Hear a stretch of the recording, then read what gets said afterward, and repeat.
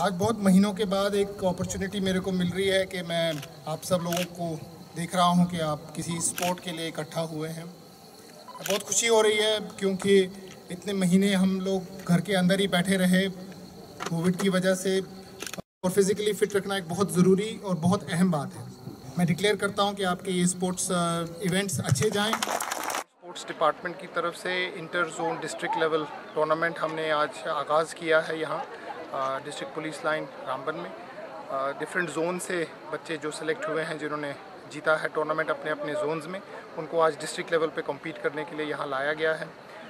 Selected बच्चों को लाया, क्योंकि कोविड है और टेस्टिंग हमने रैंडम रखी है ताकि सैम्पलिंग भी होती जाए। कोई अगर कोविड पॉजिटिव निकलेगा, उसका ख़तरा होता है तो इसलिए उनको सेग्रीगेट किया जाएगा।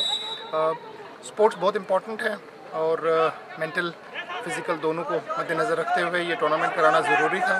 और बच्चों में काफ़ी मैंने उत्साह देखा। बहुत महीनों के बाद उनको आज अपॉर्चुनिटी मिली है बाहर निकलने की तो वो बहुत खुश थे। तो आई एम वेरी हैप्पी कि ये जोनल टूर्नामेंट हम डिस्ट्रिक्ट लेवल पे यहाँ कर रहे हैं और I wish them all the best